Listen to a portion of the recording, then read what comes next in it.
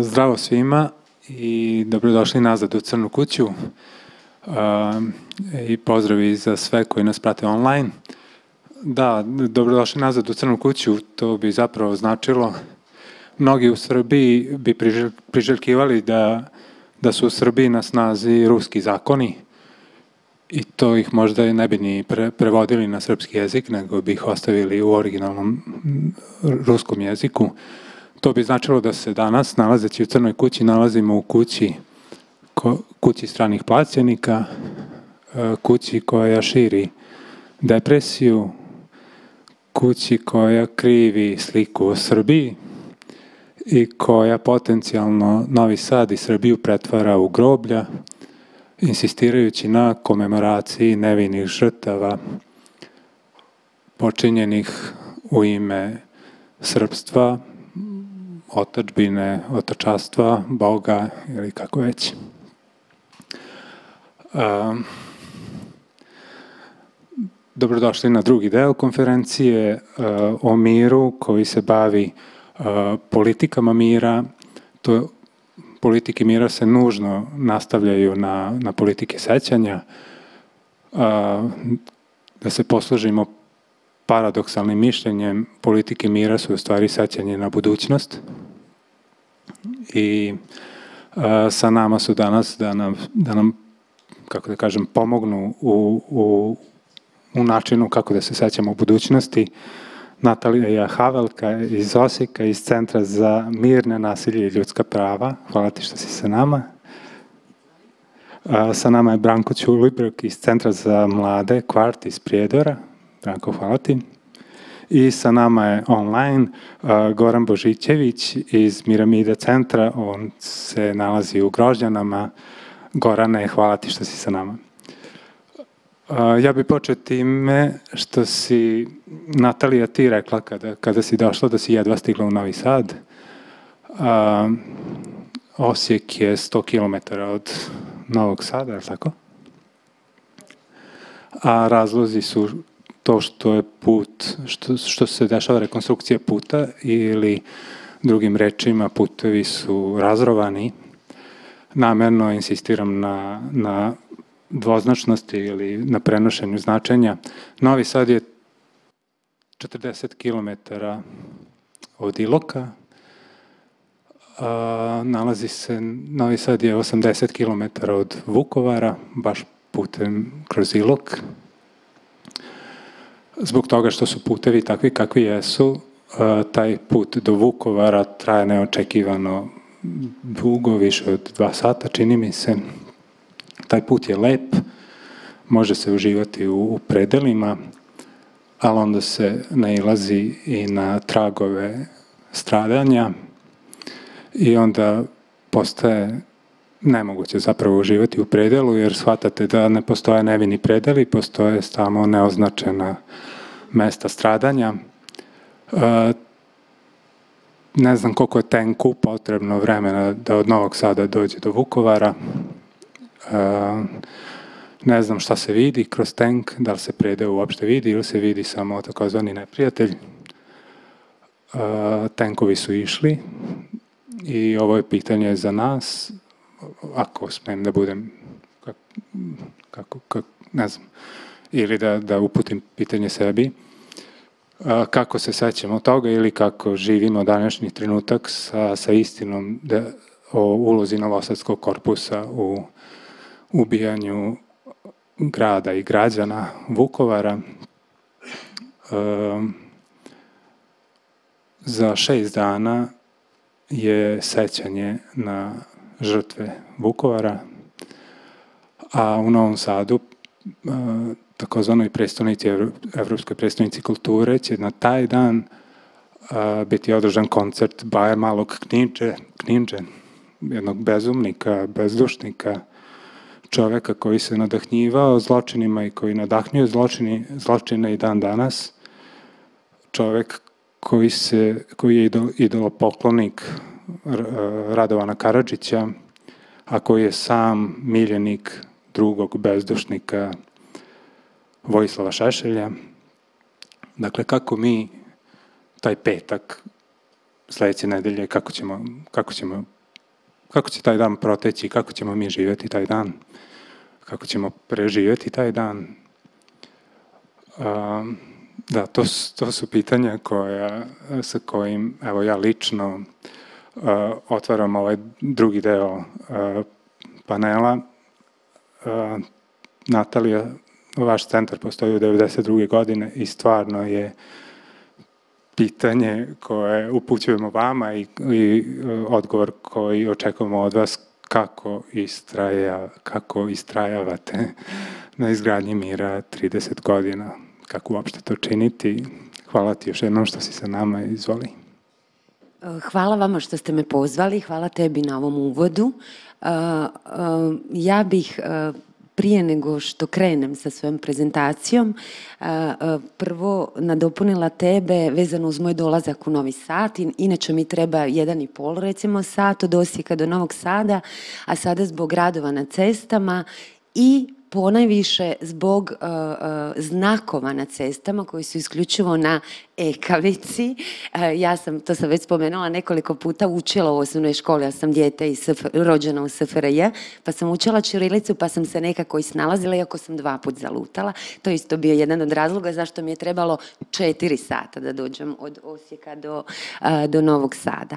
Druga stvar prije, prije nego što krenem, koju, sam, koju želim podijeliti s vama, da sam strahovito uzbuđena što sam prvi put ovdje u, u Crnoj kući, inače u Novi Sad dolazim dosta često, ali prvi put sam tu ovdje, a vi, odnosno Crna kuća i vaša organizacija i ovaj prostor u, u Hrvatskoj i u Osijeku iz kojeg ja dolazim, ali u cijeloj Hrvatskoj, pogotovo među aktivistima, među mladincima, ali i među intelektualcima uživa kultni status. Tako da kad sam svojim prijateljima i radnim kolegama rekla da idem u crnu kuću, bilo je wow, idem u crnu kuću, tako da mi je to bilo. I još kad smo se uh, Ozren i ja ovaj, dogovarali oko ovaj, dolaska na ovu konferenciju, pa kad mi je Ozren na francuskom rekao da mu pošaljem siže, tako da sam dodatno uzbuđena, samo sam htjela to ovaj, prije nego što krenem sa ovaj, prezentacijom svojom. Kao što si rekao ovaj, na početku, ja ću govoriti o temi kako ustrajati uh, na izgradnji mira i to iz perspektive, odnosno iz cipela organizacije iz koje ja dolazim i koju ovdje predstavljam, a radi se o Centru za mir, nenasilje ljudska prava iz Osijeka, koja je osnovana 1992. godine i najstarija je ljudsko-pravaška organizacija i mirovna organizacija u novijoj hrvatskoj povijesti. Nalazi se u Osijeku, ne nalazi se ovaj, ne nalazi se u našem glavnom gradu. Ove godine obilježavamo 30 godina aktivnog djelovanja, a osnovani smo uh, 1992. Možeš, molim te, uh, ako nije problem na drugi slajd, da baš sad ovo ne stoji cijelo vrijeme. Osnovani smo 1992. kada je u Hrvatskoj bijesnio rat grupa osjećana i osjećanki su se odlučila aktivirati i dati svoj glas protiv nasilja, protiv rata. Zapitali su se što ja kao pojedinac, odnosno što mi kao grupa istomišljenika možemo učiniti za mir, da spriječimo nasilje, da spriječimo na, rat, a potaknuti teškim kršenjima ljudskih prava kojima su bili izloženi uh, njihovi sugrađani, komšije, susjedi, prijatelji, poznanici. Uh, na tim temeljima je nastao uh, Centar za mir, znači osnovali su ih grupa osjećana, njih 17 oficijalno osnivača. Nisu nas osnovali stranci, ali smo dugi niz godina i mi bili strani plaćanici. jako mi je drago da sam u biti prezentiram ovu, ovu temu poslije teme, poslije kraja prvog panela gdje smo čuli priču ruske organizacije koja ove godine, ove godine ovaj, osvojila Nobelovu nagradu za mir. To mi je baš bilo posebno drago čuti. Ovaj, tako da nekako malo i zbog toga još dodatno ovaj, uh, osjećam uzbuđenje. Uh, mi, znači odgovor na ovo tvoje pitanje, i dalje ustrajavamo na izgradnji mira i aktivni smo 30, kao što sam već rekla, 30 godina. Taj naš mirovni rad u tim samim počecima našim, kako se radilo u vrijeme rata, jel, 92. godina i, sve to vrijeme 90. godina razlikuje se u velike od onog kako to radimo na miru i izgradnje mira danas kada smo članica Evropske, eh, kada smo članica posebice od, dvije, od 2013. godine kada smo članica Evropske unije. Eh, u tim samim početcima kao što sam navela to su bili aktivistički E, aktivističke akcije gdje se e, direktno pomagalo e, osobama protiv, protiv kojih su teško kršena ljudska prava. Tu imamo primjere o kojima se vjero, još i dan danas govori, još i dan danas neki slučajevi iz, tih iz tog vremena nisu riješeni. Najviše se radilo o osobama, građanima Osijeka koji, koji su živjeli u stanovima na kojima su imali stanarsko pravo i e, budući su e, bili ne Hrvati, oni su preko noći, doslovce preko noći, zajedno sa članovima svojih obitelji istjerivani iz svojih stanova, iako su imali e, stanarsko pravo i ugovor za korištenje, za korištenje, za korištenje tog stana. To su bili i naravno bez, oni su te stanove napuštali bez svojih stvari, a u te stanove su se useljavali e, drugi, druge osobe ili e, prognanici, odnosno sa drugih e, područja Republike Hrvatske ili najčešće hrvatski branitelji. E, e, sad ću, kad sam se već dotakla tog, tog, tog slučaja, budući sam ja ljudsko pravašica, pa samo ću sad ovaj, e, spomenut da i dalje neki od tih slučajeva, kao što sam rekla, nisu riješene, jer osobe koji su bili ne Hrvati, koji su ostali bez svojih stanova, su krajem 90-ih, odnosno početkom 2000-ih godine stambeno zbrinuti. Oni koji su se odlučili vratiti u Republiku Hrvatsku su stambeno zbrinuti, međutim nisu dobili taj stan nego neki drugi i bez stvari i bez materijalne naknade štete za stvari koje su ostavili, ali je uvjet bio da se oni vrate i žive u, u Republici Hrvatskoj. A što se tiče pitanja otkup, oni i dalje nisu u mogućnosti bili tek unazad nekoliko godina, im je ponuđena mogućnost otkupa tog, tih stanova koje naravno uh, po, gotovo po tržišnim cijenama uh, uh, razlikuju se od onih koji su 90-ih, sredinom 90-ih otkupljivali hrvatski državljani. Dakle, tu još imamo niz slučajeva i dalje neriješenih, iako je 30 godina prošlo od tog vremena. Mm, to sam sad povukla samo paralelu, ali ja ću se sad vratiti na ovu temu. Tih 90. godina, osim rada na direktnim kršenjima ljudskih prava, moje kolege iz Centra za mir bili su vrlo aktivni i u procesu mirne reintegracije. Mislim da smo je spomenuli ovdje e, ranije. E, to je bilo vrijeme 90. godina, 97. odnosno 98. godina. Svi znamo da je to područje Hrvatskog podunavlja koji se nalazi oko grada iz kojega ja dolazim iz Osijeka. Nije bilo u ingerenciji hrvatskih vlasti i u toj mirovnoj misiji misiji, uh, UN-ove mirovne misiji uh, su aktivno sudjelovali i mirovni timovi Centra za mir, uh, odnosno više od 20 osoba mirovnih timova i preko 100 volontera koji su zajedno sa UN-ovim djelatnicima i s djelatnicima tadašnje vlasti bili aktivni sudionici ovog procesa.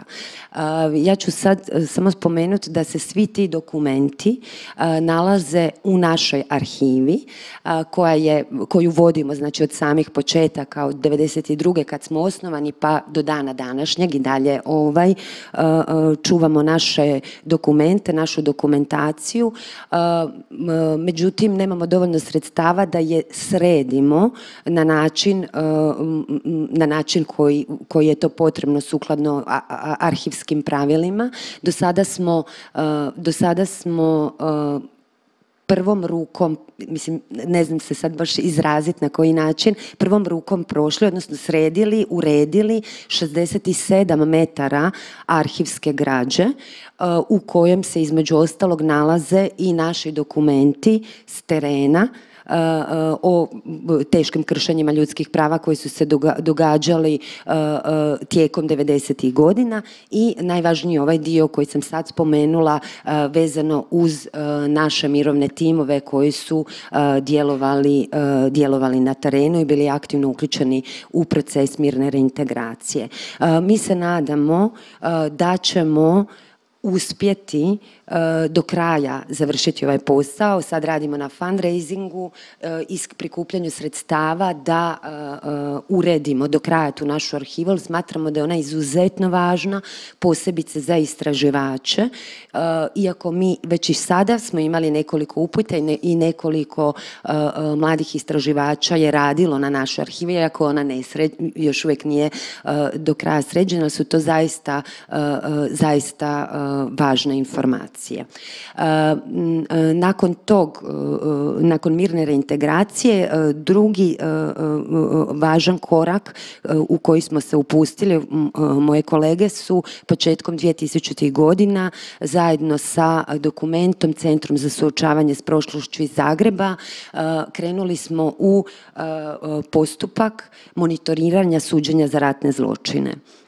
E, tu smo e, e, prvi dokumenta, odnosno Centar za mir je osnova u dokumentu, centar koji bi se bavio ovaj dokumenta i dan danas postoji i dan danas se bavi s tim i partneri smo i dalje na projektima i dalje monitoriramo suđenja za ratne zločine 30 godina od završetka, odnosno 95. ako se uzme da nije baš ono, od početka ratnih događanja i dalje su se provode procesi suđenja za rat ratne zločine. E, mi nažalost nemamo dovoljno sredstava da nastavimo sa provedbom e, te aktivnosti budući Europska unija nam ne daje sredstva za, e, monitoriranje suđenja za ratne zločine, odnosno ne možemo se prijaviti ni na jedan fond Europske unije, a mi smo neprofitna organizacija civilnog društva koja se isključivo financira namjenski putem projekata.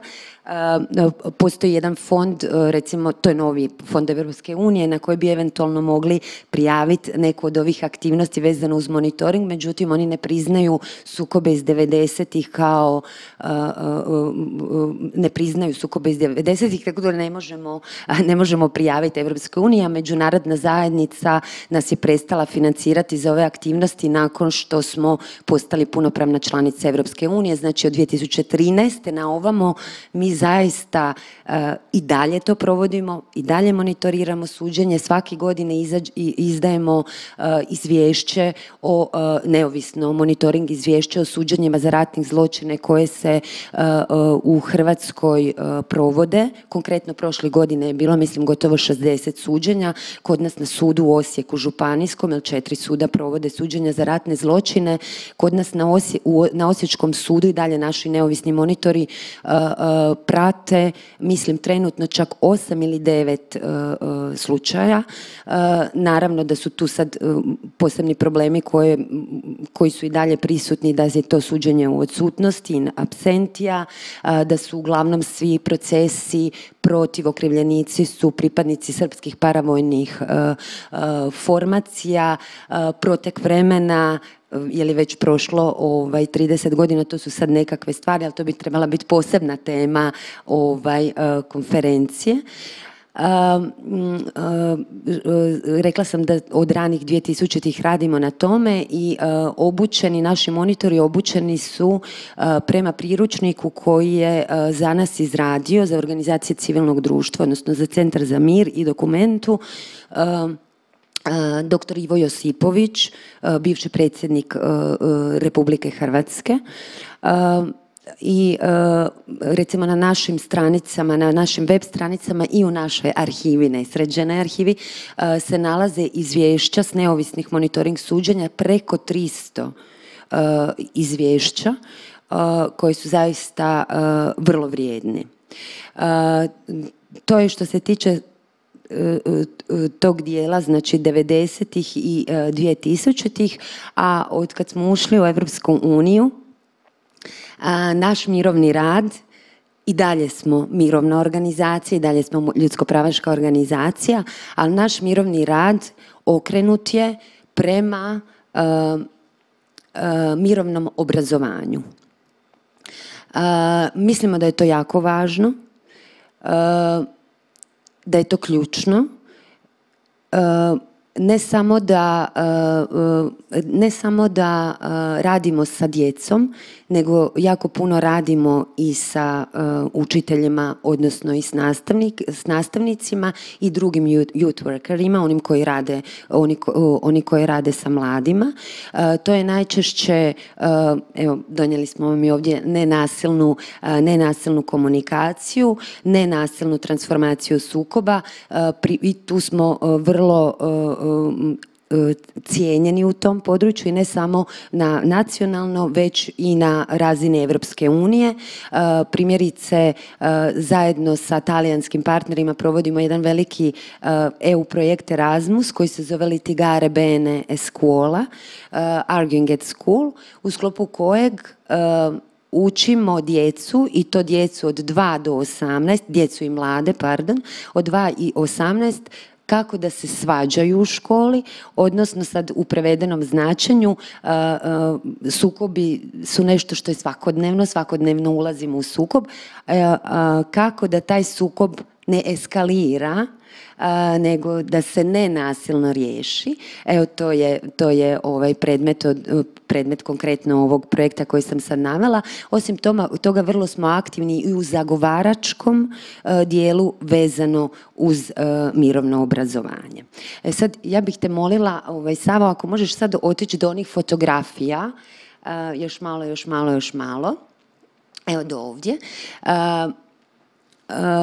da je e, naš mirovni rad nakon 30 godina, da je neko izvan našeg sektora prepoznao. Bili smo jako sretni prošle godine kada su nas nazvali iz National Geographic e, Hrvatska e, i rekli da smo laureati, odnosno da smo osvojili nagradu, njihov, njihovu prestižnu nagradu Žuti okvir za doprinos ciljevima održivog razvoja, UN-ovim ciljevima održivog razvoja i nagrađeni smo za cilj 16, e, mir, pravda i snažne institucije. Bili smo zaista vrlo sretni kad smo vidjeli da nas i drugi uoča, da su nas i drugi nakon tolike, toliko godina ovaj, e, rada mirovnog e, primijetili.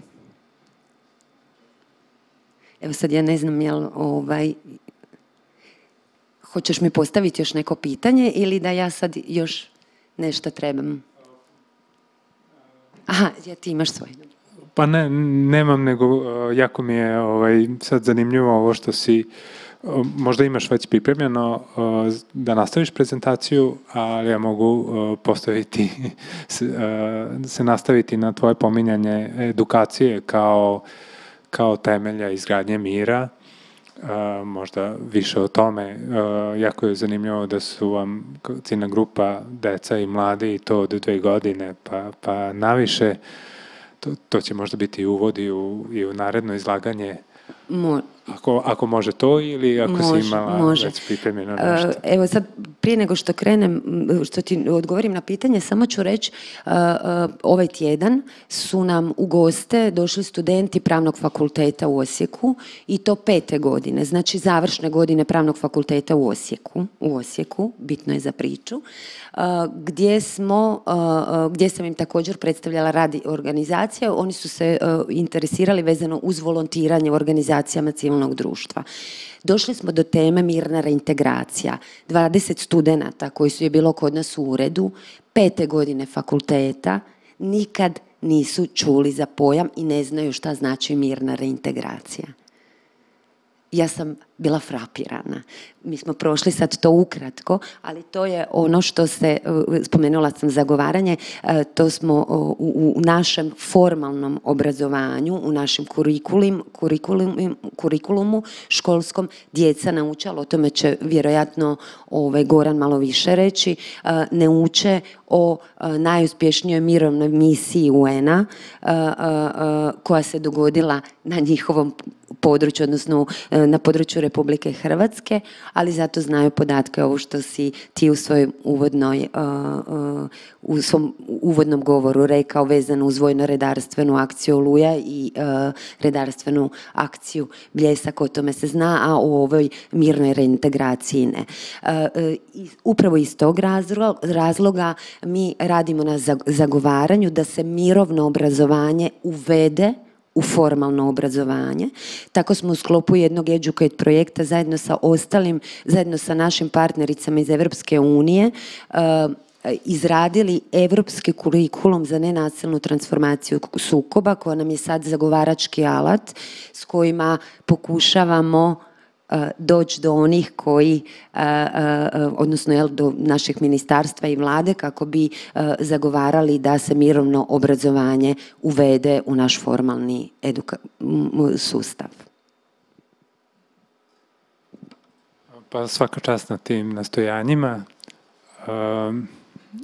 meni je naišlo da, da kad kao razmišljamo o mirotvorstvu kao politici, naišao mi je taj pojam miroljubivost i da je zapravo, kako da kažem, nemoguće tvoriti mir bez, bez ljubavi prema miru i da je miroljubivost je možda pojam koji bi, na koji bi se mogli uh, podsjećati ili oslanjati. Uh, eto da, to sam htio da podelim. Evo ja bi se sad opet na tebe ovaj, nadovezala da ovaj, i mi se vodimo tom, ovaj, e, tom mišlju e, i e, prije 14 godina smo u, upravo u čast jednog od naših osnivača gospodina Krunoslava Sukića, velikog humanista i pacifistu, osnovali, odnosno utemeljili mirovnu nagradu koja je jedina u Republici Hrvatskoj, kako bi, kako moja kolegica Katarina Kruhonja voli reći, ne nagradili, nego zahvalili mirotvorcima.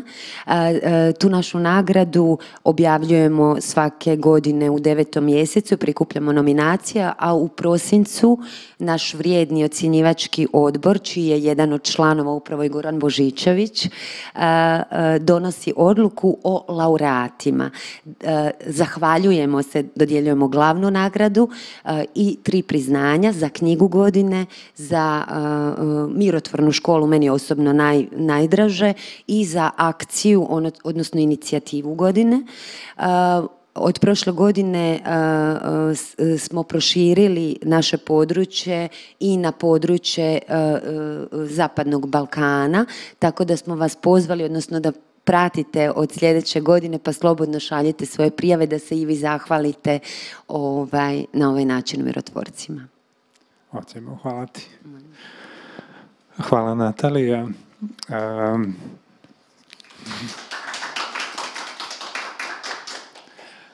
ja bih sad najavio uh, Branka Ćulibrka iz Centra za mlade Kvart iz uh, Prijedora i njegovo izlaganje nove politike sećanja u Prijedoru. Nadovezuje se sigurno na Natalino izlaganje jer radite sa mladima u tom smislu na političku edukaciju mladih u vezi sa izgradnjom mira i sa, sa vašim alternativnim načinima jel da, suočavanja sa prošlošću. Uh, Branko, izvoli. Uh, dobar dan, hvala vam, hvala vam na pozivu i drago mi je da sam danas ovdje sa, sa vama.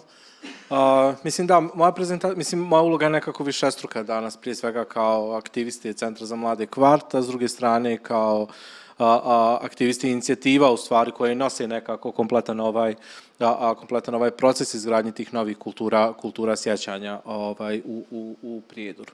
Pa može prvi slajd. A, možda nekako da, da, da se da samo neki ono uvod za, za ljude možda koji nisu upoznati, upoznati sa onim šta se dešavalo u stvari, ove, šta se dešavalo u Prijedoru. Znači u periodu između 90, 92. i 93. godine ubijeno je 3176 civila nesrpske nacionalnosti, od čega je 102 ubijene djece, najmlađe djete je bilo staro dva mjeseca, a, a naj, najstariji maloljetnik imao 17 godina, ubijeno je 266 žena i djevojčica. U Prijedoru su u periodu početka 92. godine postojali koncentracioni logori Omarska, Kerater i Trnopolje, a, gdje je oko 30.000 ljudi iz Prijedora prošlo u stvari kroz te logore, imalo iskustvo logora u Prijedorima u Prijedoru i ono što jeste što jeste bitno da je preko 50.000 ljudi u stvari u tom nekom periodu a, 92. 95. protjerano a, a protjerano iz Prijedora. Interesantna je statistika u stvari da je sam Prijedor prije prije 92. godine popis stanovništva iz 91. u stvari većinski većinsko stanovništvo u stvari u Prijedoru su činili muslimani tadašnji dok, dok u, u a, a, manjem, manjem procentu su u stvari, a, nakon toga su bili Srbi i Hrvati, onda, onda ostali. Može sljedeći slajd. A, ono što se desilo u Prijedoru da je početkom 92. tog maja 92. godine u jednom od, a, a, od proglasa na radiju a, a, saopšteno da svi srpski necivi, a, svi a, a, ne Srbi a, treba da a, a, trak, bijele plahte u stvari znak predaje na svoje prozorije, na svoje kuće i u određenim dijelovima grada su bili, u, ne samo dijelovima grada, nego oko, oko samog prijedora su ljudi bili u obavezi ukoliko izlaze u javni prostor da nose bijele trake oko, oko bijele ruke. I ovo je nešto što je dokazano u sudskim presudama i na Haškom tribunalu i u sudu u Beogradu i u sudovima, na sudovima u Sarajevu i u, u Banja Luce da se desi, mislim, ono što možda jeste isto interesantna informacija da u Prijedoru, a nekako se dotiče se toga i poslije u Prijedoru, mislim da je ovo informacija od, od prošle godine, ovaj, znam da je bilo još nekih presuda, ali do sad je a, a, presuđeno 54 ratna, a, ratna pravosnažna ratna, zločin, ratna zločinca i da su u procesu bila čini se 33 a, a, da se u stvari desilo jedno sistemsko organizovanje zločina u, u Prijedoru govori kompletna ta jedna propaganda u stvari koja se ovaj koja se vodila i koja je prethodila kompletnom ovom ovom strašnom zločinu koji koji se desio a i sa druge strane na području grada grada Prijedora su ovaj postojale masov, masovne grobnice. Jedna od najpoznatijih masovnih grobnica a, nakon drugog svjetskog rata je ta zloglasna a, masovna grobnica Tomašica gdje preko 650 ljudi ovaj e, u stvari dati podatak da je negdje pretpostavka da je 650 ljudi a, a, a, u toj masovnoj grobnici, do sada je čini se 450 ljudi identifikovano i da se desi da se desio jedan da, da postoji taj u stvari fenomen intimnosti zločina. A šta to u stvari znači? Da su svi direktni počinioci koji su učestvovali u, u, a, u ovim zločinima u stvari ljudi koji su iz, a, iz Prijedora. Znači to su i dan danas ljudi koji su i presuđeni, koji su pušteni na slobodu, oni čine naše, naše komšije i čine integralni dio naše lokalne, lokalne zajednice i sreću svoje, a, a, svoje žrtve skoro svakodnevno u gradu u kojem, ono, u kojem ljudi, ljudi, ljudi žive što jeste na neki način razlika, razlika od Srebrenice. A s druge strane, nekako kad govorimo, mislim, Prijedor nije, nije presuđen, a, a u Prijedoru nije presuđen genocid, presuđeni su samo ratni ratni zločini, ali s druge strane, kada se, a, mislim da je nekako stvarno bitno a, naglasiti da sama ta organizacija zločina koja se desila u Prijedoru ima sam, masovnost tih, tih zločina, a, a, mislim 3176 ljudi je ogroman broj ljudi koji je ovaj koji je ubijen i ta jedna planska planska realizacija tog tog zločina intimnost tog zločina u stvari negdje negdje ipak ipak navodi na karakter na, na, na taj jedan strašni karakter tih tih ratnih zločina koji zaista čak i prevazilazi sa, samo to. To je baš jedno ono monstru, monstruozno a, zvjerstvo koje se ono koje se dešavalo, ako već ne možemo ga nazvati, ne možemo ga nazvati genocidom. Može sledeći slajd. A, ono što negdje jeste do, do, do, tog nekog a, upliva i, i pokretanja tih nek, neših, na, nekih naših aktivnosti na polju suočavanja s prošlosti u Prijedoru, jeste da su u stvari vladala potpuno dva odvojena, odvojena narativa. Znači, to je vrlo bila podijeljena, a, a, a, podijeljena na naše i na njihove, na njihove žrtve. Postojalo su potpuno dva, dva, dva ta, ta, neka, dvije te neke kulture u stvari, u stvari sjećanja. Jedna koja, koja govori i zagovara u stvari stradanje ljudi, druga koja u potpunosti negira i opravdava te zločine, naročito se, se negdje držeći ovaj, držeći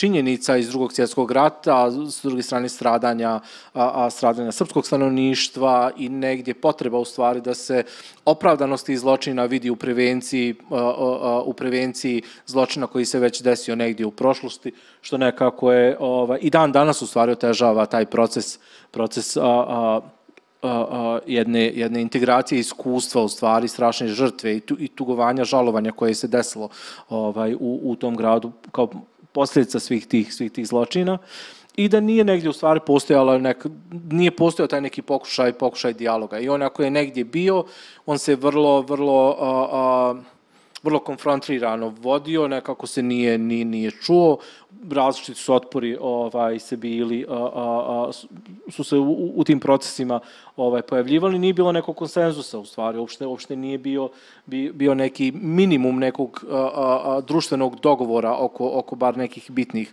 a, a, bitnih stvari koje su tu desile. Naravno da je, da je srpski narativ bio, bio dominantan, on je i danas ovaj, a, a, nekako dominantan, i to što, to što sam već i rekao u stvari, da postoje potpuno dvije odvojene politike sjećanja, gdje je u stvari jasno bilo to razvojeno na naše, na naše na njihove žrtve. Može sledeći slajd. Uh, ono što jeste ni, negdje smo mi kao detektovali kao preduslov za konstituisanje nove politike sjećanja, prije svega to je bio masovni masovni povratak. Prijedor je, je jedan od gradova koji je nakon, a, a, nakon rata i taj povratak je u stvari 100% u smislu povrata imovine, da su ljudi vratili imovinu, ali naravno većina ljudi u stvari nije, ne živi u, u, u Prijedoru. I to je negdje u stvari ta politika bila da, da politika koja se u stvari vodila u, u tom periodu, gdje, gdje, gdje je jasna, jasna političko, političko određenje bilo a, a, da, da su se ljudi iz federacije pozivali da rade povrat svoje imovine u Republici Srpskoj, dok su s druge strane, dok je s druge strane lokalna politika Republike Srpske bila ostajite ovde, ovo je vaša zemlja, ovo je srpska, Ovaj, tako da, da sam prijedor je u stvari u, tom smislu izvršio tu potpunu, ovaj, a, a, potpuni taj povrat imovine, imovine, ali ne, ne i ljudi u stvari koji se vratili da, da, da žive. Vrlo je dobro organizovana povratnička zajednica, da li, ono, to kroz udruženja koja se bavi civilnim pitanjima nestalih, crvenih žrtava rata ili nekim drugim pitanjima i u tom smislu postojalo je nekoliko udruženja koji se aktivno bavile u tom nekom periodu između 90 96. od i 98. Ovaj, pa ne, neka postoje čak ovaj, i, i danas i da je postojala ta neka aktivistička grupa koja je, ovaj, koja je bila aktivna u Prijedoru. Može sljedeći sled. Uh, ono što nekako isto jeste bio podstrijek, to je da, da je u tom momentu kad smo mi u stvari krenuli da se bavimo ovaj, a, a, a, pitanjem suočavanja sa prošlosti, da je zaista postojala jedna a, organizovana aktivistička zajednica u, u Bosni, Bosni i Hercegovini, jer su a, a, u tom momentu a, i druge neke stvari u stvari u Bosni i Hercegovini se krenuli da se dešavaju između ostalog IMBG protesti, pa kasnije protesti a, 2014. godine i slično. I da su u stvari sve ove aktivističke organizacije, neformalne grupe prepoznale pitanje suočavanja sa prošlosti kao jedno bitno društveno pitanje oko koje treba da se, da se, ovaj, da se organizujemo. Može sledeći slajd. Ono što smo mi negdje u stvari od samog, od samog starta, od samog početka prepoznali da, da mi ne želimo da se bavimo politikom sjećanja kroz zagovaranje. Da taj proces suočavanja sa prošlosti mora da ide ovaj, isključivo od ozdo, da on mora biti aktivistički, grassroots i, i u suštini ono mi i cijelo vrijeme, mislim i dan danas kvart je prije svega lokalna organizacija koja se bavi a, mladima u Prijedoru, iako naše polje rade i djelovanja jeste, jeste šire, ali, ovaj, ali u stvari taj, taj neki, neki pristup koji je, ono, koji, koji je lokalan, a s druge strane daje mogućnost inkluzije i drugih i da se sama ideja širi i širi kao takva, je bilo nešto u stvari što je prepoznato od strane drugih, drugih grupa I tako je u stvari došlo se do formiranja ove inicijative, jer me se tiče, koji je glavni cilj u početku bilo, a, a, bio taj komemorativni u stvari, a, a, a, a, ta u stvari procesna šetnja 31. maja kao obilježavanje Međunarodnog dana, dana, dana bijelih traka, koja je onda kasnije u stvari prerasla svojim ciljama u, u, u, u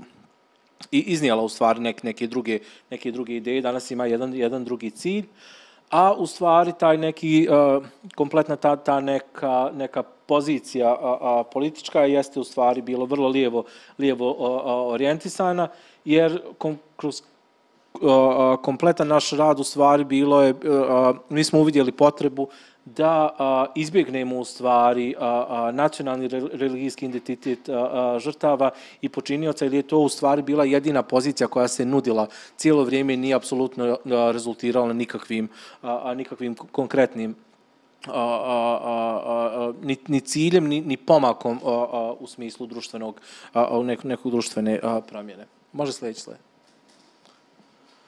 A, ovo upravo što mi jesmo u stvari ponudili ovu livu perspektivu jeste nešto što je najviše bilo i kritikovano od strane a, a, i drugih organizacija, aktivista i slično, jer na neki način oni su uvidjeli a, da je to relativizacija zločina ovaj, u smislu da se izbjegava, iako je nama u stvari jasna ta pozicija zbog čega ti ljudi jesu ubijeni, ono, da ti ljudi jesu ubijeni zbog svog imena i prezimena i pretpostavljenog nacionalnog, nacionalnog identiteta, ali s druge strane zaista smo negdje negdje uvidjeli da proces rehumanizacije se mora desiti u stvari kroz izbijanja tih identiteta, jer svi ti ljudi su bukvalno do jednog momenta dok se nije desio, ne znam, ta neka noć i to jutro koji su se probudili su bili naši komšije, naši kumovi, braća, sestra, dijelovi porodica i slično. Samo u jednom momentu smo se mi probudili i odlučili da će to biti neki muslimani ovaj, da smo mi neki Srbi i da se ljudi trebaju međusobno početi ovaj, sukobljavati. Ono što jeste nekako bilo važno da kroz samu ovaj, inicijativu, jer me se tiče, su se pojavili ljudi različitih nacionalnih identiteta, što nekako jeste doprinijelo, doprinijelo tome da se sam, samo to negiranje u stvari, ne, ne, ne dozvoli u stvari to, to negiranje sa jedne i sa druge strane i da se izbjegne u stvari upravo ova igra ping-ponga. Jesu naše žrtve, jesu njihove žrtve. Ovaj, slično je u stvari da se, svi bavi, da se, svi, da se mi svi bavimo našim, a, a, našim a, a, da, da se svi bavimo našim, našim žrtvama i našim sugrađanima u stvari koji su, koji su stradali a, u ratu. A, ovo sam već rekao u stvari da je slučavanje s prošlosti je u stvari prepoznat kao polazna osnova za postizanje neke šire, šire društvene promjene. Ona jeste u stvari prije svega bila protiv, borba protiv nacionalizma i dominantnih politika ovaj, i narativa, ali ono što mi danas radimo u stvari da, da je nama zaista bitno to pitanje intersek intersekcionalnosti i u stvari uključivanje i bavljenjem različitih društvenih pitanja kao što su pitanja socijalna pravde, kao što su pitanja LGBT prava, promovisanje vrijednosti antifašizma, da je to borba u stvari isto tako protiv istorijskog revizionizma i u tom cilju, u tom smislu u stvari sama inicijativa a, je, je kroz različite, različite aktivnosti i podršku u stvari različitim inicijativama doprinosila tom nekom širijem društvenom a, a, angažmanu nekim, nekim širim društvenim, društvenim promjenama, naročito na, ovom polju ovaj, borbe protiv, protiv istorijskog revizionizma i LGBT prava. I ono što nekako jeste, jeste ovaj, a, a, bilo bitno, to je generisanje pritiska, da li je to kroz ono, da li je to kroz medije, da li kroz međunarodnu ovaj, javnost ili slično, ali u stvari bilo potrebno, a, a, mi smo jednostavno jedna vrlo mala grupa građana u tom momentu, momentu bili, ali s druge strane ono odje koji smo uspjeli napraviti u tom nekom kraćem, kraćem periodu jeste bila u stvari upravo kroz ovo generisanje, generisanje pritiska i uključivanje te neke šire, šire društvene javnosti. Može sljedeći slajd. Uh, ovo sam već rekao u stvari, da mi od samog starta nismo željeli da, da se vodimo tim pitanjem zagovaranja, ovaj, nego da zauzimanjem javnog, javnog prostora ovaj, uh, uh, svojim, svojim tijelima i iznošenjem uh, svega onoga u stvari što jeste, što jeste tabu godinama o čemu se ne priča, o čemu se ono što, što se negira, bude tema, bude tema javnog, jav, javnog prostora. Uh, ono što jeste, u stvari ovdje je negdje navedeno, u stvari to poređenje sa, sa Srebrenicom, jeste da uh, Srebrenica kao takva jeste, jeste presuđena i možda je negdje završen taj, taj proces na neki način priznavanja, mada mene s druge strane imao sam priliku 2000, uh, 16. ako se ne varam, da budem na jednom, na jednom predavanju profesora Švarca na Njemačkom institutu za savremenu istoriju, koji je držao neko predavanje a, i između ostalog, tako kako je sužavao u stvari to predavanje, došli smo na, na temu Srebrenice, gdje se ispostavilo otprilike da od 1800. godine na, pro, na području Srebrenice na svakih, ne znam, 30, pa 20 do 50 godina, vi imate bukvalno ponovljeno ovaj genocid od kome mi apsolutno ništa ne znamo. Ovaj, I to ide ono to ide unazad u stvari, gdje bukvalno jedni druge tako ovaj, a, a, a, kolju i taj, taj prostor je jedan vrlo, vrlo aktivan prostor jedne, jedne, jednog strašnog, strašnog zločina koji je ono koji se ponavlja. A s druge strane, ovaj, u, u prijedoru videli, nemate evo, sam taj proces u stvari priznavanja tih, još uvijek imate 33 a, a, slučaje, vjerovatno i više u stvari, a, a vi trenutno imate u prijedoru još, ja mislim, 550 a, a, nestalih osoba. Ovaj, da su a, posmrtni ostaci nekih osoba iz logora, logora Kerate, Omar, Omarska i Trnopolje pronađeni u nekoliko masovnih grobnica na području BiH, što govori u stvari i o tom organizovanom jednom, ovaj, jednom zločinu koji se dešavao i slično. I on, on jesu stvari jedno mjesto, mjesto aktivne, aktivne borbe i su, suočavanja. Ono što, što mi nekako jesmo uvidjeli da sam, sam, same te naše aktivnosti, taj naš rad jeste generisanje novog društvenog ovaj, iskustva, ali da je izvor, izvor jednog novog znanja koji se može, koji se može dalje i dalje prenositi. Da, suočavanje srpskog narativa, ali na drugačiji način, znači da se desi ta depolitizacija, u smislu da se onemogućuje politička ovaj, manipulacija, rehumanizacija, a tu je nekako najviše, najviše pomogla upravo ova inicijativa za izgradnju memorijala za 102 ubijene djece ovaj, koju, ću, nekako spomenuti. Može sljedeći sled. Uh, I da, mi smo u stvari cijelo vrijeme izbjegavali pozivanje na odgovornost i uvijek smo u stvari pozivali na solidarnost, da se odgovornost adresira prema sadašnjem odnosu, prema toj prošlosti koja, koja se dešavala iako je to uglavnom, mislim, vi, vi, kad, kad, uh, vi kad otvorite, govorite o pitanjima o kojima se ne želi, ne želi ovaj, a, a, razgovarati, naravno da se uvijek povlači ovo pitanje na, na odgovornost. Vi danas u suštini u gradu, kad, kad posmatrate narative, ono, kad je u stvari, kad je krenuo, krenuo rat u Prijedoru, kad se priča o tome, uvijek je u stvari važno, važno to pitanje, a, a, a, da, da će srpska strana reći u stvari da je početak rata u Prijedoru počeo stradanjem a, tog čuvenog džape u Prijedoru, policajca koji je obijen na ulici krajnje slučajno, iako postoje ovaj informacija o tome u lokalnim novinama i slično, ali oni u stvari vole naglašavati da je upravo prva, prva žrtva u Prijedoru bila srpska srpska žrtva i da je to, mislim, opet na neki način se a, a, poziva na odgovornost i na opravdanje svih onih zločina koji su se desili, koji su se desili kasnije, upravo tim, tim činom u stvari stradanja tog, stradanja, stradanja tog čovjeka. Može sljedeći slajd. A, ko su u stvari osnovni nosioci politike sjećanja u Prijedoru? Prije svega to je inicijativa jer me se tiče Dan Bili Traka kao najveći aktivistički sistemski organizovani događaj ovaj, u državi. On je vrlo kontroverzan od samog samog početka a, a, 2013. godine a, sama šetnja je bila bila zabranjena i ja moram reći da ove godine, nakon 10 godina, je meni kao organizatoru ponovo upućena zabrana, zabrana, zabrana šetnje po istim navodima u stvari pod kojim je ta šetnja bila zabranjena ovaj, a, a, i 2013. 13. godine.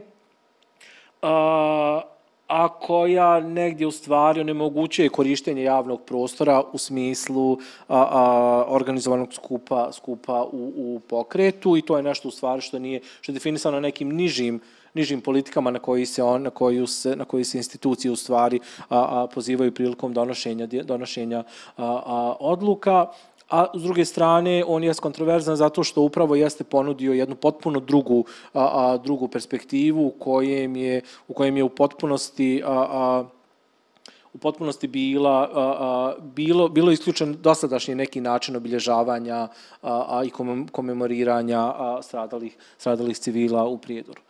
Sama inicijativa, jer mi se tiče, u stvari dobila cilj konkretno na 2014. godine i to je osnovni taj, taj cilj, borba za izgradnju spomenika za 102 ubijene djece. Iako ta borba evo traje već a, a, 8 godina, moram reći da mi, mi do sad nemamo ni jedan zvaničan u stvari dokument kojim se u stvari sve ono što mi dogovaramo i pregovaramo dosta sa, sa političarama negdje konkretizuje u stvari a, a, i daje saglasnost za tu, za tu izgradnju, izgradnju memorijala, pogotovo što je u Prijedoru došlo i do promjene vlasti prije, a, a, prije dvije godine. Prijedor imao tu lokalnu a, političku partiju koja je do dvije godine bila, bila na vlasti, sad je, ovaj, to je Demokratski narodni savez, ovaj, sad je SNSD partija a, a, Milorada Dodika a, na vlasti, što u potpunosti u stvari negdje i mijenja, mijenja odnos trenutni prema, prema samoj izgradnji, izgradnji tog, tog memorijala i nekako se ponovo ulazi u taj, u taj proces. I možda negdje tu stvari su tako bitno naglasiti da upravo ljudi koji jesu a, koji su koalici, koalici, koalicioni partneri sa, sa, sa nosiocima vlasti, koji su iz reda bošnjačkog a, a, naroda i koji, recimo, u momentu dok je to bio DNS, to je bio gospodin Sead Jakupović, između ostalo, kojim je predana prva, prva peticija za izgradnju, a, izgradnja, izgradnju spomenika za svo dvoje ubijene djece, je tu istu, istu peticiju držao godinama u stvari u, u Ladici. U, u ovom momentu, recimo, kad je SNSD na vlastu, imamo trenutno jednog imamo Mirsada Duratovića koji je u stvari a, a, a, čiji je član porodice, brat između ostalog jedan od ubijenih, od djece, koji isto tako u ovom momentu vrlo administrativno koči ovaj proces donošenja donošenja odluke i u stvari ne daje mogućnost da se ovo pitanje iznese. On je predsjednik skupštine trenutno nabavlja tu funkciju, on je na toj funkciji u stvari zbog toga što je iz reda bošnjačkog, iz bošnjačkog naroda, a, a, pa mu pripada po, po defaultu ovaj, ta, ta funkcija da je on recimo trenutno jedan od tih ljudi koji koči taj proces izgradnje iz memorijala u Prijedoru, iako smo mi došli do pregovora i oko same lokacije, oko potencijalnog izgleda spomenika, oko nekih drugih administrativnih administrativnih stvari, opet dolazimo na tu prepreku stvari kako, kako političari između sebe zarad svojih ono interesa, opstanka na, na, na vlasti, svojih nekih ličnih ambicija i ciljeva, a, će u potpunosti odbaciti ovaj sve ono što, što zašto su se i ranije u stvari zalagali dok nisu upravo dobili tu istu funkciju koju danas koju danas obnaš, obnašaju. A, ono što negdje jeste sad jedan dio da da postoji to jedno konstantno prisustvo na lokalnom nivou kroz uh, organizovanje različitih aktivnosti, prije svega organizaciju koje radim, Centar za mlade kvart, koja, koja negdje organizuje ovaj dio aktivnosti za mlade, pa i drugih, uh, drugih organizacija koja radi u Prijedoru. To je ova alternativna komemoracija koja se zove Noć u Trnopolju, gdje mi svakog 5. augusta u stvarno otvorenom prostoru logora Trnopolja organizujemo, organizujemo komemoraciju u smislu da dovođenjem upravo ovih pitanja iz prošlosti govorimo o sadašnjosti i u stvari koliko to sve ima uticaja na današnje, današnje neke politike, na, društven, na, na generalnu društvenu situaciju a, to je organizovanje on raštih uličnih akcija, rad sa mladima, da li kroz organizovanje raštih kampova za mlade, radionice, razne, razne škole, a, imamo aktualnu tu školu, kritičkog propitivanja, propitivanja prošlosti ovaj, a, a, i slično. I to su neke kontinuirane aktivnosti koje mi svake godine u stvari a, kako da kažem, držimo živ, živim a, a, sam, samo, ovo, samo ovo pitanje u stvari izgradnje nove, nove politike sjećanja. Može sljedeći slajd, ja mislim da je to negdje kraj. Da, to, to je to u suštini, to je dio, dio mog, a, mog izlaganja. A, ja također, ne znam, ako ostane vremena, ovaj, a možete taj film pogledati na YouTube, odnosi se na, na 31. maj i tu prvu u stvari na a, organizaciju 31. maja. Ovaj, pa ako bude prostor i vremena, on se može, ovaj, može se i pogledati. Uh, tu sam za vaše pitanja. Branko, hvala ti puno. Uh, pretpostavljam da pitanja postoje. Uh, pretpostavljam da ima pitanja i ja bih imao posebno u tom intersekcionalnosti kao pristupu suočavanja sa prošlošću, a možda najbolje da, da ih ostavimo nakon izlaganja. Za sad bi uh, ti se zahvalio za, uh, na izlaganju i na tom momentu koji je meni posebno dragocen, a to je naglasak na, na to što si rekao da je suočavanje sa prošlošću u stvari uh, zauzimanje javnog prostora sob, sobstvenim telom, znači u, u sadašnjem trenutku biti prisutan i postojati, stojati, svedočiti na tom strašnom mestu gde buči pustoš, što bi rekao pesnik. Ja bi sad najavio Gorana Božićevića, nadam se da se čujemo. Goran je jedan od osnivača i trenutni direktor Miramide centra regionalne razmene izgradnje mira, mirovni antiratni aktivista još od 90. godina i trener je nenasilne transformacije konflikta, jedan od osnivača Centra za mirovne studije i jedan od prijatelja, mislim da se tako može reći, odnosno predstavnik u postjugoslovenskim zemljama Quaker Peace and Social Witness programa suočavanja sa prošlošću. Gorane, da li se čujemo? Pa ja tebe čujem jako dobro, ne znam kako vi mene čujete. I mi tebe čujemo uh, prilično dobro. Uh, zahvaljujem ti se što si sa nama i, i jedva čekamo ovaj provokativni u najlepšem smislu značenja uh, na izlaganje pod nazivom Politike nenasilja, propitivanje mirovnih dogmi. Gorane, izvoli. E pa hvala ti lijepo. Ovaj, ja sam vas čak uspio pogledat malo sad e, jer mi je Ozren javio preko čata da ide na Facebooku uživo, tako da sam malo osjetio atmosferu. Veliki pozdrav vama u Novom Sadu. A, ja ne bi puno duljio, ajde da krenemo malo s ovim što sam ja dosta pretenciozno nazvao ovaj, propitivanje mirovnih dogmi, a da vidimo samo, da li vidite vi moj screen sada? Da. Da, vidimo. Ok, samo malo, sad sam ja tu nešto... Tu, tu si sad na prezentaciji. Je. Jel u redu vidite ili vam smeta ovaj neki kvadrat uh, od Skype-a? Pa u redu je, za nas je u redu. Ovako. Dobro.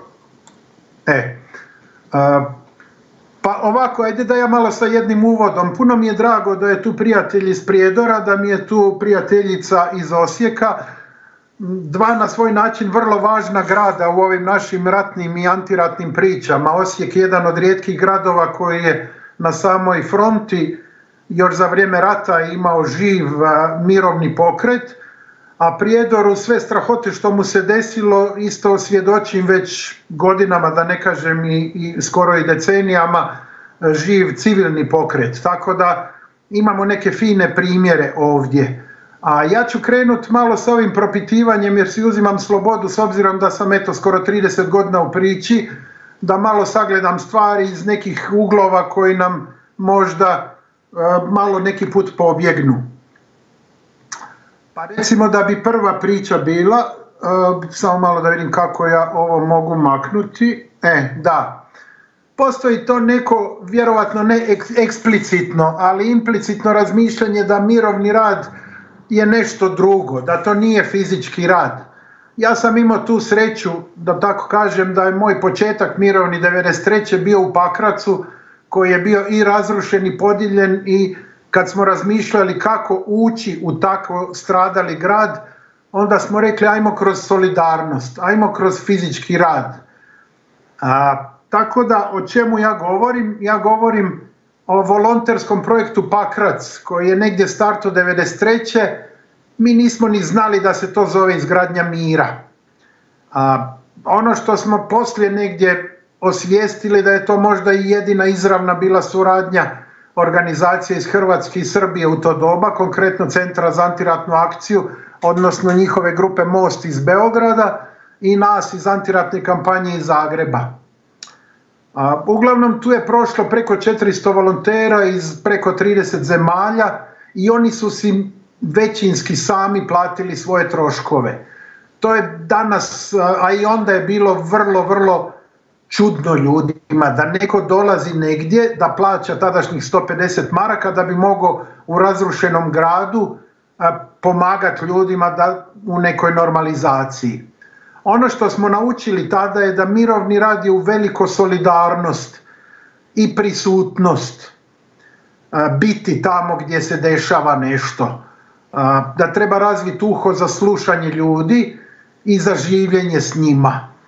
I na taj neki način smo, a da mi to i nismo znali, pomaknuli te neke dotadašnje pristupe koji mahom nisu bili u to doba, dakle prije 30 godina, da se ide tamo gdje je teško i da se tamo živi.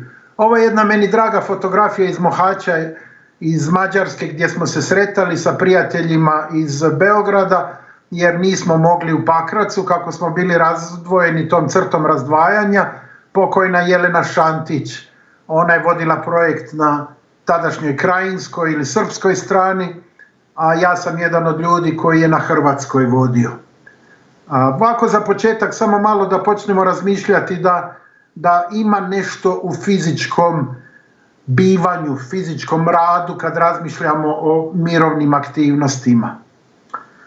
Jedna od stvari koju ja volim a, potencirati je da nam za mirovni rad ne treba stručnost. A, ja ne znam koliko je sve u publici, ali mi je za nekakva pretpostavljanje da ima i mladih ljudi. A, dosta mi mladi znaju reći kao mi nismo iskusni, a, sa nekim tonom malte neopravdavanja.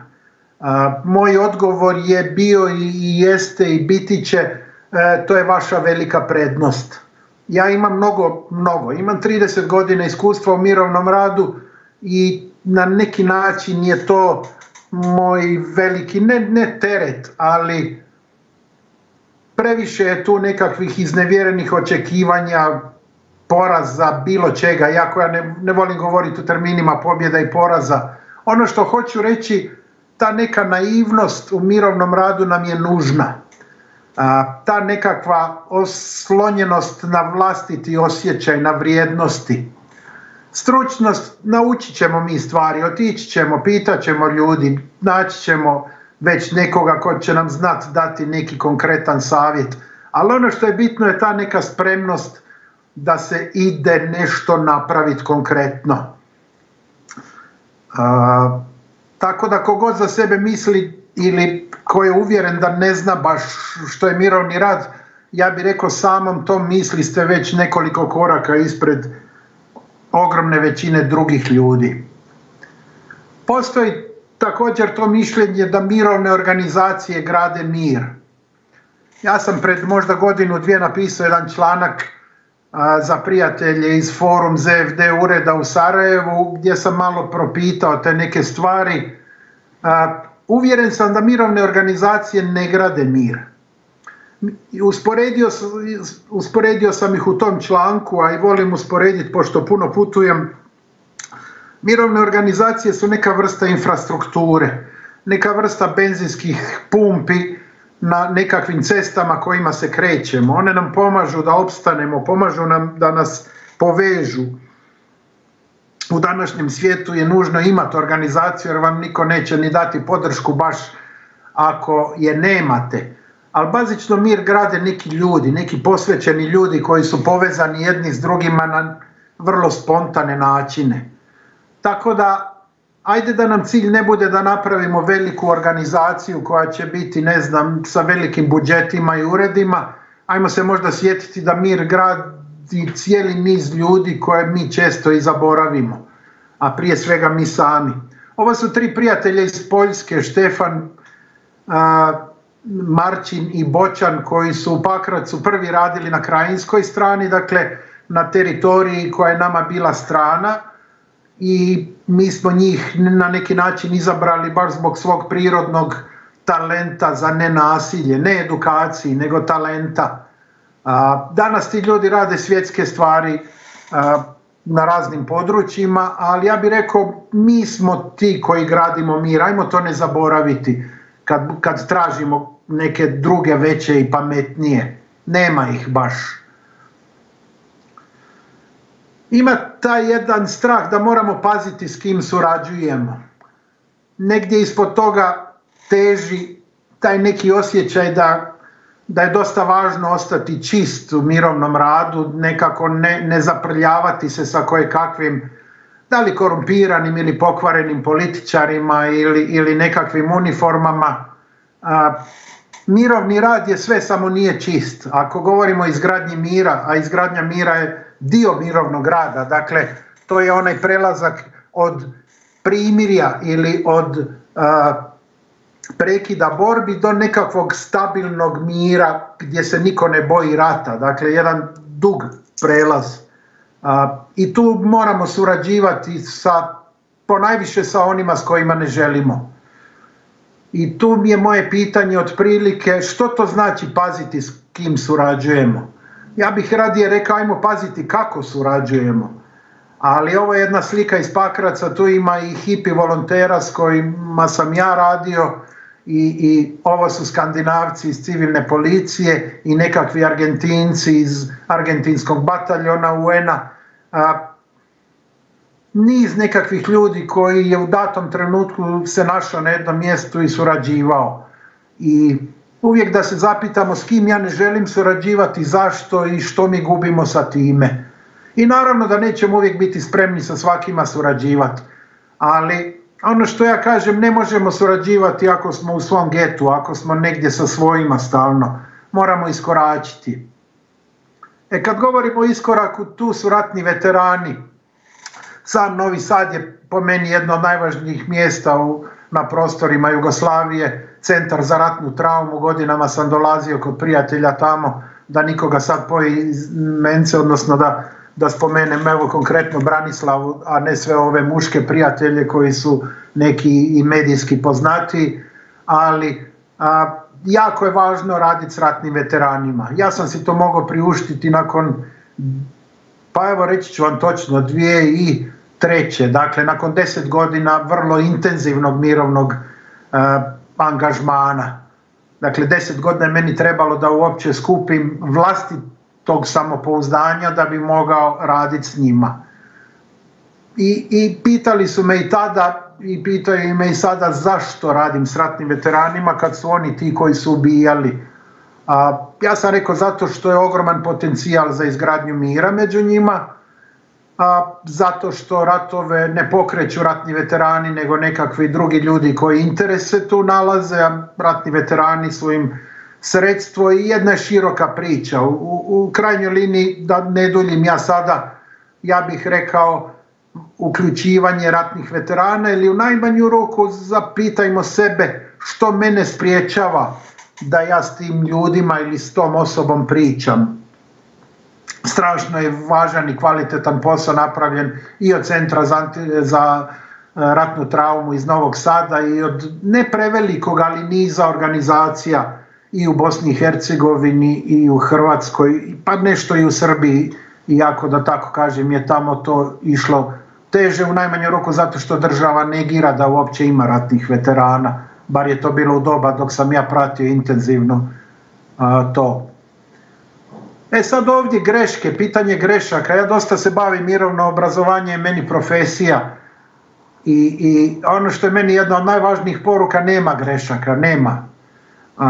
Meni je od mlađi ljudi možda neće znati, stariji će znati moja kultna knjiga Milana Oklopčića, Kalifornijski blues, ovoga, ima jedna rečenica koja kaže, opisuje neku situaciju tamo i kaže on je znao nešto što smo mi drugi naslučivali da greške ne postoje.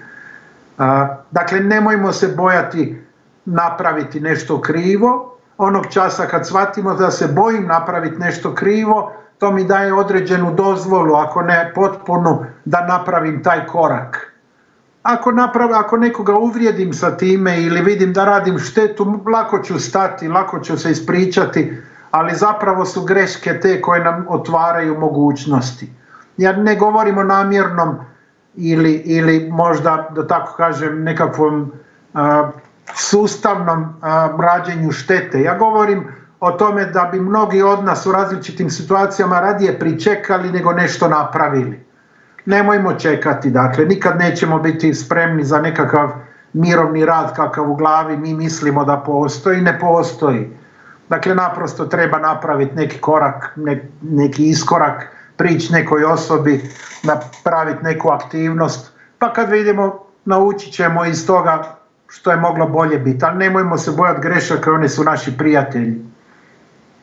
Na tragu iskustva, već sam rekao, to je glupost sa tim iskustvom, jedne dvije mlade žene koje ja obožavam, u našoj regiji ima strašno kvalitetnih generacija mladih ljudi, uključujući i vas, ja sam da tako kažem malo i, i, i, i googlao i pričao s prijateljima i što sam rekao Ozrenu, ove dane su mi dosta neki naporni dani jer se iselim i svašta nešto, ali ako vas mogu podržati makar na 15 minuta, važno mi je to napraviti. Mi stari vas možemo podržavati, ali vi imate ono što mi baš i nemamo više, a to je nekakvu želju za promjenom, nekakvu snagu, nekakvu, nekakav entuzijazam.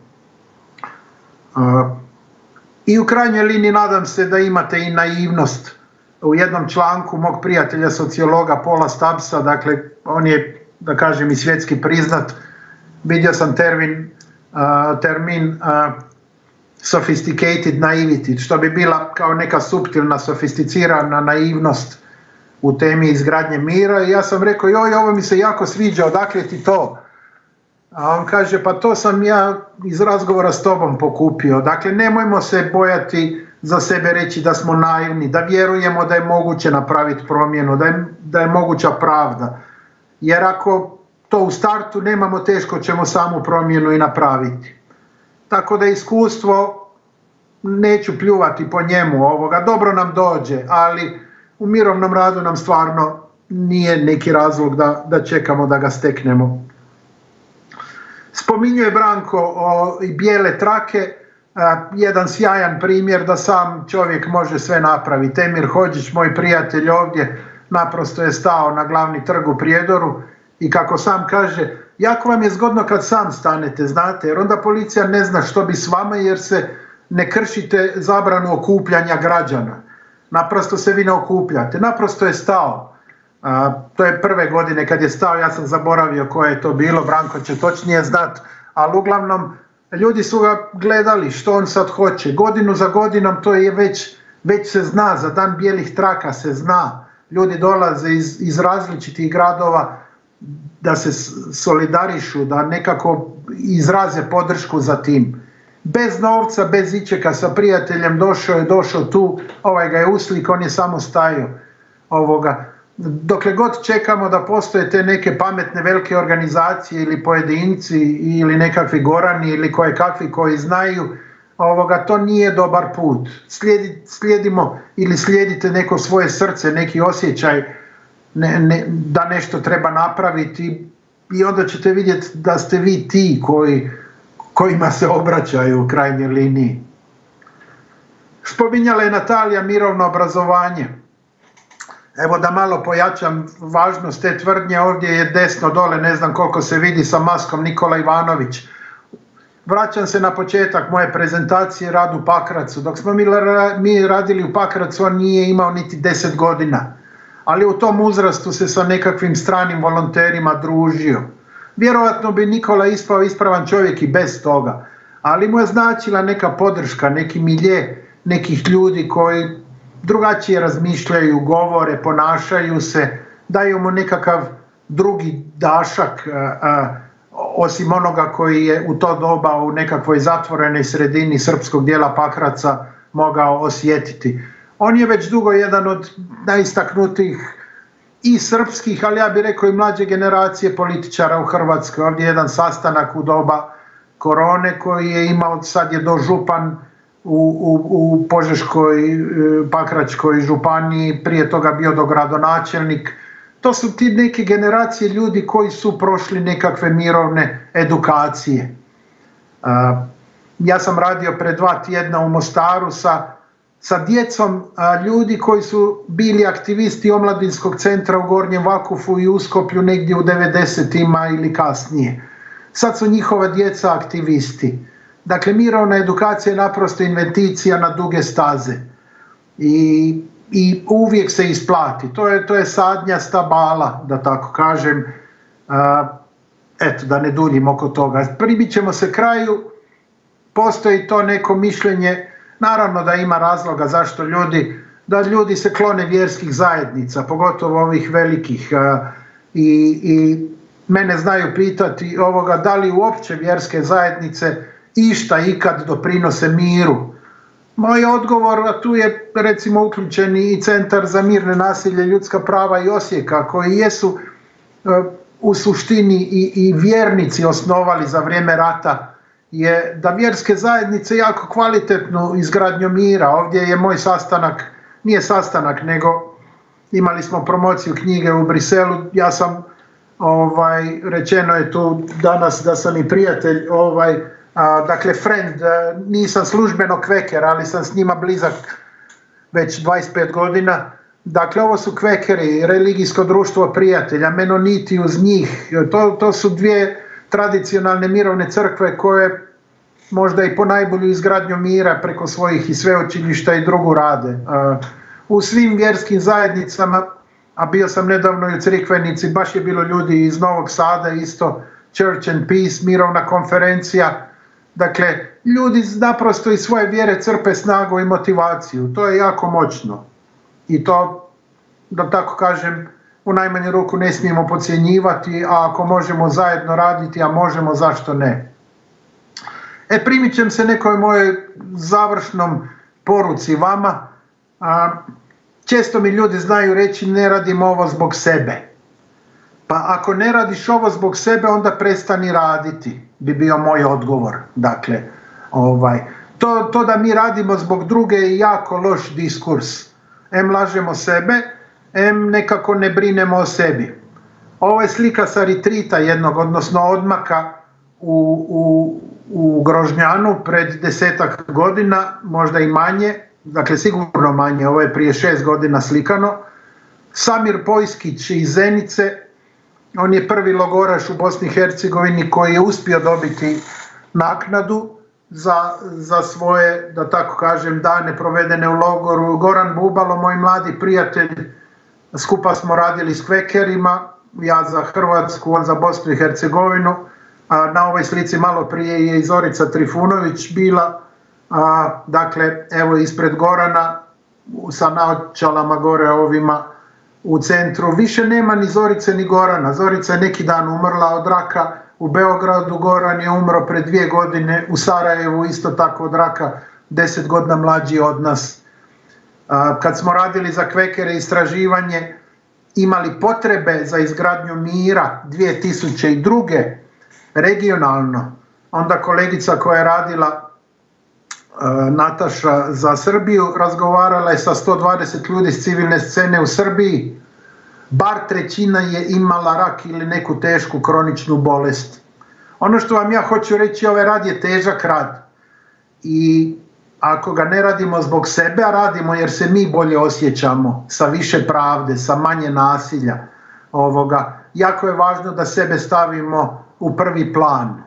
E, ne iz nekih e, egoističnih ili ne znam kakvih profitabilnih razloga, nego naprosto zato što je to težak rad, što je dugotrajan rad i zato što je potrebni, potrebni smo i sebi i drugima. I potrebni smo da pazimo na svoje zdravlje i dužni smo paziti na svoje zdravlje. Tako da naprosto, ajmo reći, pazite na sebe, ne radite preko vikenda, gledajte se nalaziti što više vremena u onome što vas ispunjava, ne nužno što, što bi mogli napisati kao nekakav mirovni rad. I sad već primit ćemo se kraju, na Facebooku često čitam dokle više, a, došli smo do dna, ali nema niže, sve te neke izraze koji jesu, da tako kažem, razumljivi, ali su vrlo neproduktivni. Ovdje je Rosa Parks koja naprosto kaže ustala sam, dakle ona je, ona je pokrenula taj cijeli pokret za ljudska prava a, koji je relativno nedavno, ja sam imao par godina u to doba, dakle u 60-ima negdje završio sa tim apartheidom koji, je, koji su Sjedinjene države imale. Kad se nije htjela ustati naprosto u autobus, jer je sjela na mjesto za bjelce i onda su joj rekli ustani i ona je rekla ne, neću više. Mogla je, ono kaže bila je umorna, nije ona bila umorna taj dan od rada, bila je umorna od ustajanja. Tako da umjesto da se čudimo zašto je tako kako je, ajmo rađe vidjeti što je meni sve potrebno da bude drugačije. Evo, ovo to bi bio neki moj kraj. Hvala vam za, za, za brigu koju ćete o sebi imati ili koju već brinete sada. A ja bih se naprosto možda sad ugasio da puno ne pričam, pa vam se zahvalio uh, još jednom na prilici uopće da budemo skupa, pa makar i ovim putem.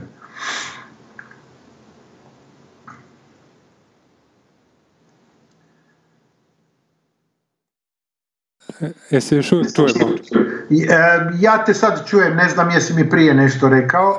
Želim da ti se zahvalim ovaj, puno. Ovo je bilo, veruj mi, nadahnjujuće za sve. Da, sad sam u stvari malo emotivan. Kad bi mogli ovaj, praktikovati to propitivanje svaki dan, bilo bi dobro. Hvala ti na, na, na podsjećanju da napisano je da gde su dvoje i troje, tu je i Bog sa njima, a, a si nas podsjetio da je i biti sam u stvari božanski, već po sebi. I eto, ja ti se na tome baš zahvaljujem. Um, I, da. Sada bi Mm, da, otvorio prostor za pitanja. Pa, eto, ko, ko, ko želi da uputi našim sagovornicima u ovom programu kao i sagovornicima u prethodnom delu programa, slob, budite slobodni da postavite pitanje.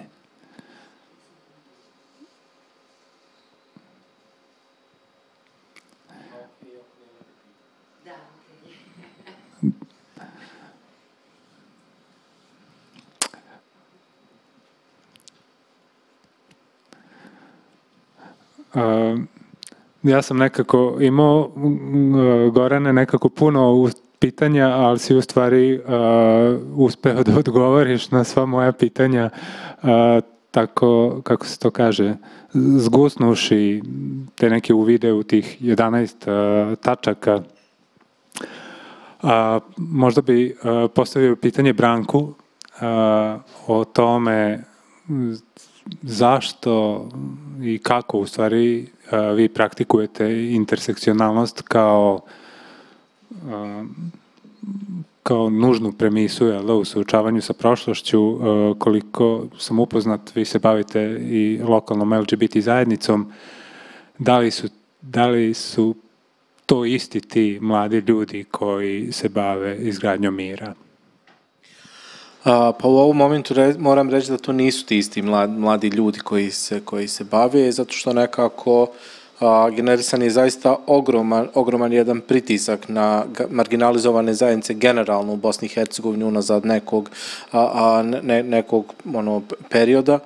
I samo u stvari dovođenje a, a, dovođenje na neki način veze sa radom naše organizacije zaista ljudima ovaj, stvara jako, jako puno problema.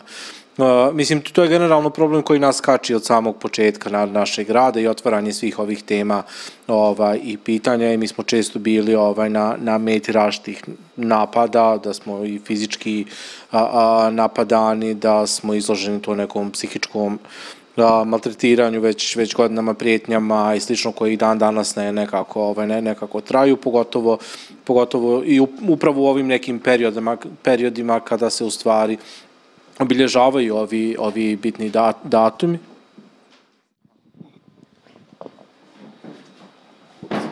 Ok.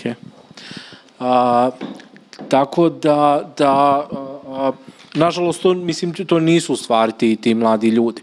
Ali generalno ta neka aktivistička zajednica koja jeste na nivou Bosne i Hercegovine, mislim, ja imam to iskustvo organizovanja i povorke ponosa u Sarajevu zadnje, zadnje četiri godine, više nisam dio organizacijonog ovaj, a, a, odbora, ove godine sam izašao, ali to jesu stvari, mislim i, i taj prvi organizacijni odbor kada je, kada je formiran, to su bili ljudi koji su bili dio inicijative jer me se tiče na nivou Bosne i Hercegovine, ali sama inicijativa jer me se tiče u stvari dobila taj jedan državni ovaj, a, a, a, kako da kažem, ne državni karakter u smislu, ali su bile formirane grupe na različitim geografskim lokacijama gdje se u stvari i radile određene stvari, gdje se obilježavao dan bili traka, gdje su vršene ovaj, prisilne memorializacije određenih mjesta stradanja ovaj, i, i slično. I mislim kompletan jedan taj kompletan taj taj jedan sistem vrijednosti koji koji se cijelo vrijeme u stvari pro, provlačio upravo to nenasilje, mir, antifašizam a, a, a, su vrijednosti i ideje koje, koje smo mi nekako nosili i koje smo nosili, prenosili, prenosimo u stvari. One jesu danas, evo, između ostalog, glavni vrijednosti i principi funkcionisanja između ostalog i organizacijonog odbora BH, BH povorke i ponosa. Mislim, pitanje socijalne pravde kao jedna univerzalna, a, univerzalna tačka tačka borbe u stvari za, za, za postizanje neke šire, šire društvene, društvene promjene. Hvala ti.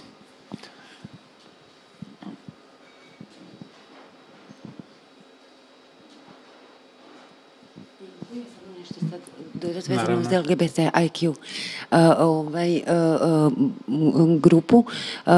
Osijek, iako sam već navela 30 godina tamo postoji, ima jako NGO scenu. Nikad u Osijeku nije djelovala organizacija koja bi se bavila pravima LGBTIQ osoba. Tako da to je recimo baš onako ovaj, uh, zabrinjavajuće.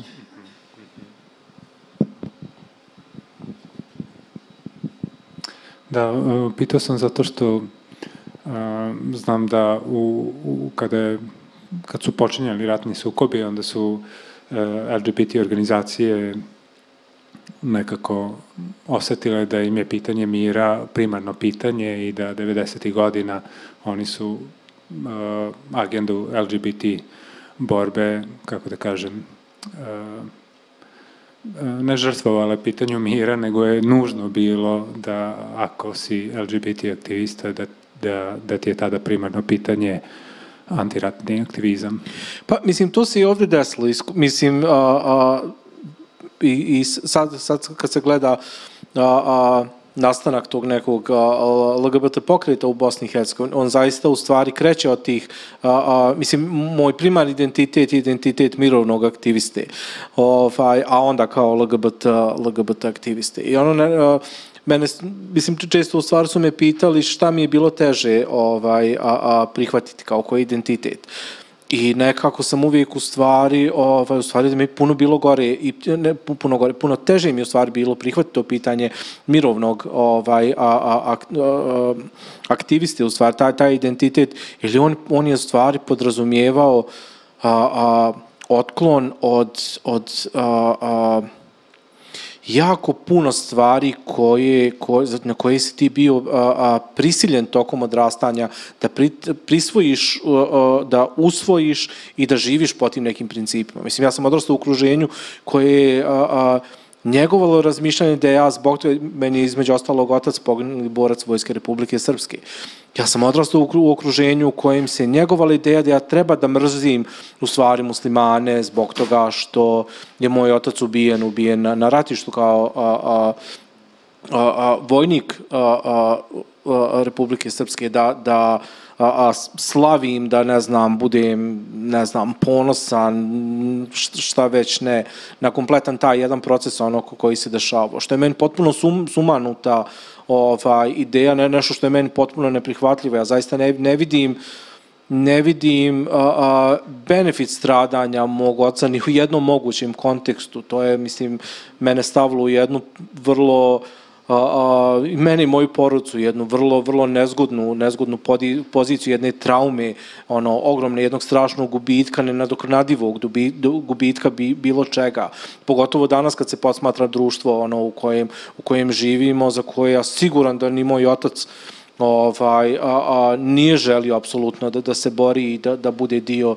dio, dio, dio svega toga. Da i ja danas sam ono na neki način potpuno a, a, ne mogu reći baš izopšten, ja živim u, u tom društvu, imam poprilično ok, a, ok život, ali a, a, svi napori idu ka tome u stvari da, da se i, i ja i moje kolege koji, koji se, koji se bavimo ovim temama budemo izopšteni upravo iz te lokalne zajednice, upravo zbog toga što ne pristajemo na, prihvat, na, na, ne pristajemo na taj neki politički konformizam koji, koji apsolutno nema ideju i viziju a, a, a društvene, nekog društvenog napretka u stvari, nek isključivo rad na, na, a, na, na kako da kažem, svom nekom ličnom, ostvarivanju svoje neke lične, ličnog, ličnog, ličnog profita i dobiti kroz ono kriminal, kroz korupciju, kroz ovaj, a, a, manipulaciju a, i, i slično.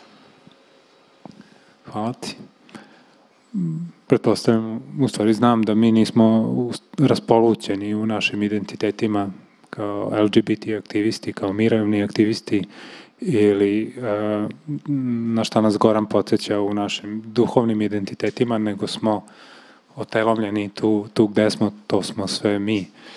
Uh, samo je pitanje gde smo, gde se nalazimo, gde smo prisutni, gde svedočimo. Ako nema pitanja, ja bih se zahvalio svim gostima, sagovornicima na, na konferenciji. Hvala vam zaista što ste bili tu prisutni.